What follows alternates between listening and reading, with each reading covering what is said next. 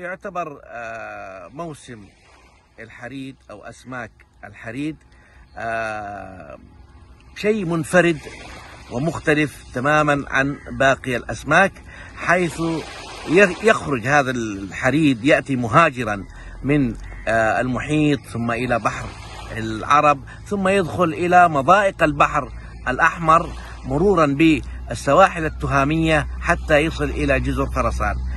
حقيقة كان لهذه المهرجانات دورها التنموي في جلب رجال الأعمال للمنطقة بشكل عام سواء ومنها أيضا محافظة جزر فرسان.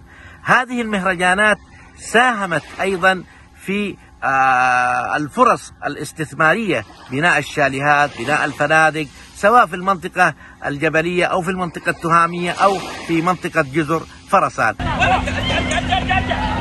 इधर जाओ इधर जाओ।